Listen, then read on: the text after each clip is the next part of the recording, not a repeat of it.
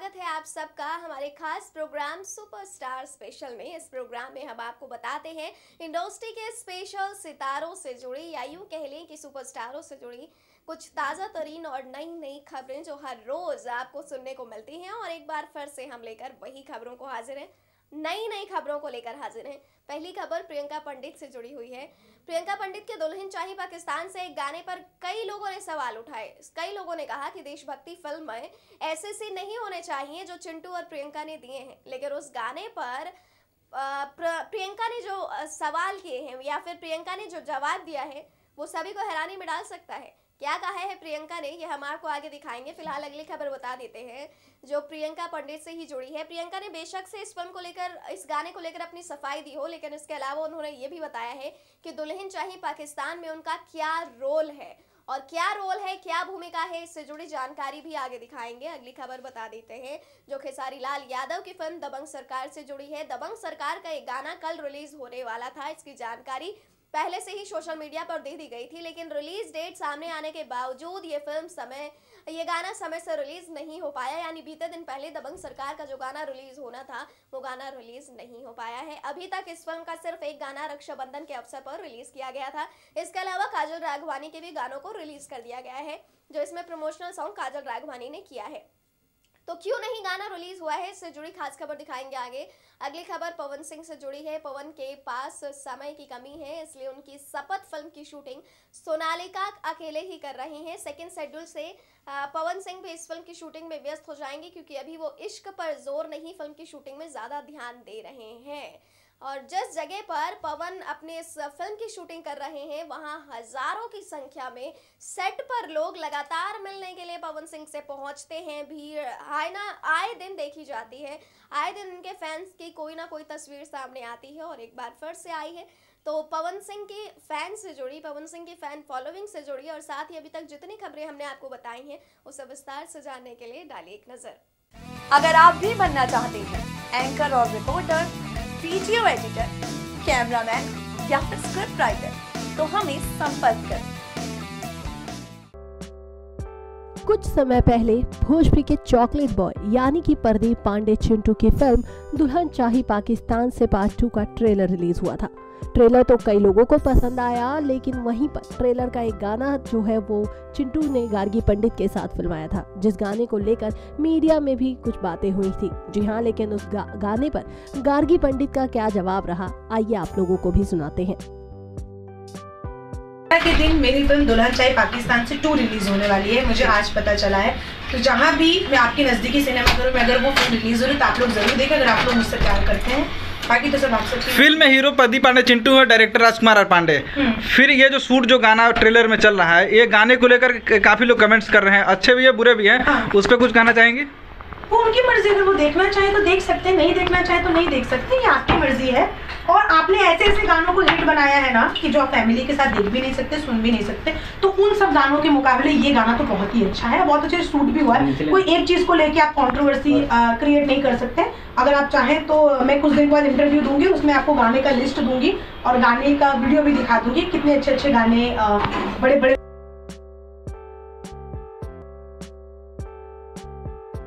Bhojpuri cinema की fitness queen के नाम से फ़ेमस गार्गी पंडित और प्रियंका पंडित ने सोशल मीडिया पर दुर्गा पूजा पर रिलीज़ होने वाली फ़िल्म दुल्हन चाही पाकिस्तान से पार्ट टू को लेकर। सुनिए जरा क्या कहा उस फ़िल्म में अपने रोल को लेकर के।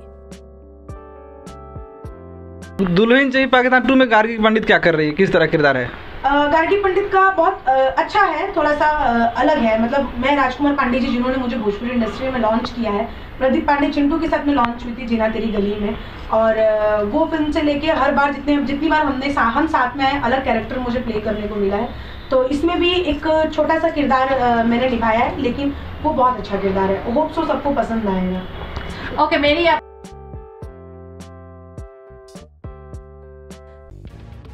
भोजपुरी के सुपरस्टार खेसारी लाल यादव की कल शाम को फ़िल्म दबंग सरकार का एक प्रमोशनल गाना रिलीज़ होने वाला था, जिस गाने के बोल थे पागल बने हुए का पतर की पागल बने हुए का।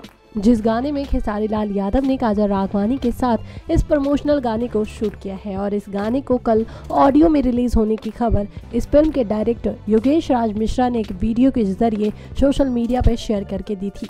जी हाँ और कल शाम को दबंग सरकार का एक और गाना रिलीज़, सोशल मीडिया पर शाम को पाँच बजे रिलीज़ होगा ऐसा इन्होंने बताया था।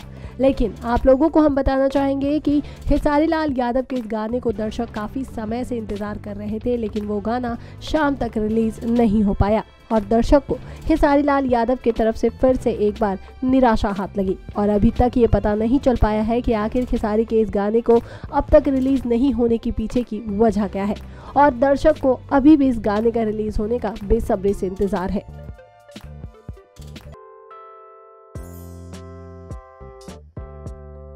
भोजपुरी सिनेमा में ट्रेंड सेट करने वाले निर्माताओं में से अनुंजय रघुराज एक बार फिर से बॉक्स ऑफ़िस पर धमाल मचाने की तैयारी में है। यही वजह है कि अभी हाल ही में उन्होंने जुबली स्टार दिनेश लाल यादव के साथ दो बड़ी फ़िल्मों की घोषणा कर दी और इंडस्ट्री की हार्ट बीट बढ़ा दी है।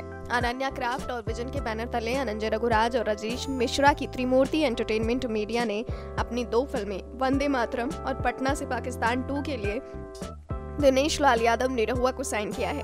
बता दें कि साल 2014 से पहले तक बदहाली के दौर से गुजर रही भोजपुरी फ़िल्म इंडस्ट्री को रघुराज ने ही अपनी फ़िल्म पटना से पाकिस्तान बदलाव का संकेत दिया था। तब अनन्या क्राफ्ट और विजन के बैनर तले रघुराज ने दिनेश लाल यादव निरहुआ के साथ पटना से पाकिस्तान फ़िल्म बनाई और फ़िल्म ने रिलीज़ के साथ ही बॉक्स ऑफ़िस पर तहलका मचा दिया था।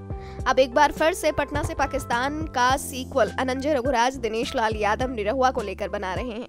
इस बारे में उनका मानना है कि पटना से पाकिस्तान टू पिछले फ़िल्म की कड़ी को आगे बढ़ाएगी। इसलिए हम दिनेश लाल यादव निरहुआ के साथ फ़िल्म कर रहे हैं। हमारी फ़िल्म के लिए वो परफेक्ट है। तो वहीं अनंजय ने दूसरी फ़िल्म वंदे मातरम की घोषणा भी कर दी है और इसमें भी दिनेश लाल यादव उनके हीरो होंगे। फ़िल्म वंदे मातरम के निर्देशन की कमान रजनीश मिश्रा को सौंपी गई है।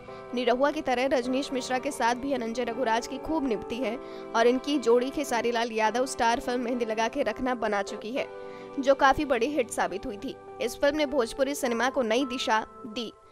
इस फ़िल्म के बाद अनंजय रघुराज की पहचान इंडस्ट्री में लीक से हटकर फ़िल्म बनाने वाले निर्माताओं और पुख्ता तौर पर होने लगी। फिर अनंजय ने मेहंदी लगा के रखना का सीक्वल भी चिंटू के साथ बनाया और लोगों को बता दिया कि वो भोजपुरी सिनेमा के सबसे मज़े हुए निर्माता हैं। हालाँकि अब सीक्वल को मंजुल ठाकुर ने डायरेक्ट किया था, मगर रजनीश मिश्रा से अनंजय की बहुत निपती है, इसलिए इस बारे में अनंजय ने अपनी एक नायाब स्टोरी वाली फ़िल्म वंदे मातरम की कमान रजनीश को सौंपी है। भोजपुरी की पहली ऐसी फ़िल्म होगी जो इंटरनेशनल स्पोर्ट्स पर आधारित है। ये एक मोटिवेशनल स्टोरी है। कुल मिलाकर देखा जाए तो अनंजय रघुराज एक बार फिर से निरहुआ को लेकर दो बड़ी फ़िल्मों का निर्माण कर रहे हैं, जिसकी घोषणा भी हो चुकी है, और इस पूरी इंडस्ट्री की नज़र इन दोनों फ़िल्मों पर लगातार बनी हुई है। जानकारों का कहना है कि अनंजय और निरहुआ जब भी साथ आते हैं बॉक्स ऑफ़िस पर उन फ़िल्म को खूब रिस्पॉन्स मिलता है। अनंजय रघुराज के पीआरओ रंजन सिन्हा ने बताया है कि अनंजय दर्शकों की नब्ज को जानते हैं और उन्हें पता भी है कि अच्छी फ़िल्मों का प्लेसमेंट कैसे होना चाहिए।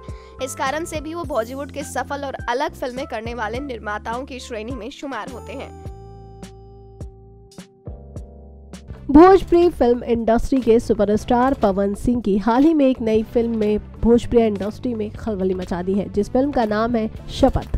जिस फ़िल्म में पवन के साथ हीरोइन सोनालिका प्रसाद नज़र आने वाली है और इस बात की जानकारी देते हुए कहा जा रहा है कि इस फ़िल्म शपथ की शूटिंग इन दिनों मुंबई के फ़िल्म स्टूडियो में बहुत जोरों शोरों से चल रहा है। जी हाँ इस फ़िल्म में पवन सिंह के अलावा रोशन राजपूत, सोनालिका प्रसाद, चांदनी सिंह, यामिनी सिंह, उमेश सिंह, सुरेंद्र पाल और कई अन्य कलाकार भी हैं। लेकिन सबसे आश्चर्य वाली बात तो ये है कि इस समय पर पवन सिंह की इस फ़िल्म की शूटिंग उनके बिना ही किया जा रहा है, क्योंकि पवन सिंह तो इस समय पर अपनी दूसरी फ़िल्म जिस फ़िल्म का नाम है इश्क पर ज़ोर नहीं की शूटिंग रांची में कर रहे हैं, जिसकी कई तस्वीरें भी इन दिनों सोशल मीडिया पर काफ़ी ज़्यादा वायरल हो रही है। वेल अब देखना यह है कि आखिर पवन सिंह के इस फ़िल्म की शूटिंग कब तक पूरी होती है और पवन सिंह इस फ़िल्म में एक बार फिर से कौन से नए अवतार में वो नज़र आते हैं कौन से नए रोल को निभाते वो नज़र आते हैं।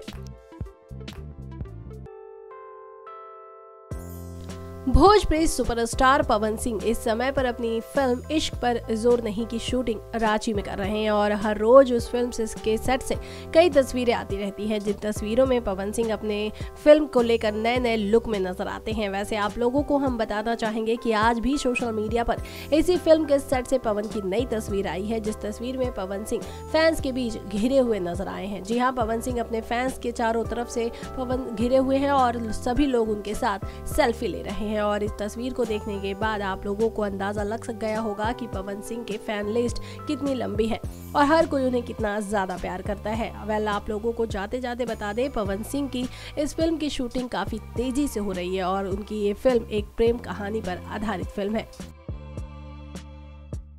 क्या आप लोग जानना चाहते हैं कि मैं इतनी देर से हाथ जोड़ के क्यों खड़ी हूँ? दरअसल मैंने भी संन्यास ले लिया है कि अब मैं आ, सिर्फ़ अच्छी अच्छी खबरें ही आपको दिखाऊँगी और अगले प्रोग्राम में ही अच्छी खबरें लेकर आऊँगी क्योंकि अभी मेरे पास अच्छी खबरें देने के लिए कुछ नहीं है। तो फ़िलहाल के लिए मुझे दीजिए इजाज़त। अगले प्रोग्राम में होगी मुलाकात ऐसे ही अच्छी अच्छी खबरों के साथ। तब तक के लिए प्रणाम दीजिए इजाज़त। अगर आप भी बनना चाहते हैं एंकर और रिपोर्टर वीडियो एडिटर कैमरामैन या फिर स्क्रिप्ट राइटर तो हमें संपर्क करें।